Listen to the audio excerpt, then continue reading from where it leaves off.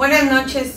El día de ayer que sostuvimos una plática con el fiscal general del Estado, licenciado Carlos Amarripa, llegamos a acuerdos benéficos para las familias de los desaparecidos.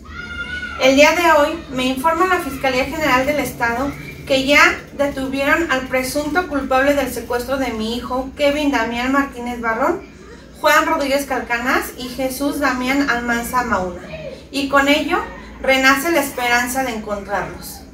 A nombre de los colectivos Una Luz en mi Camino y de pie hasta encontrarte, agradecemos al fiscal general del Estado la pronta respuesta a nuestras peticiones y felicitamos el trabajo realizado de la Fiscalía, así como la unidad de especializada en combate al secuestro. Así también agradecemos el apoyo que nos brindó la licenciada Norma Nolasco, activista de los derechos humanos, por hacer posible llegar a acuerdos con el fiscal y que estos se estén cumpliendo.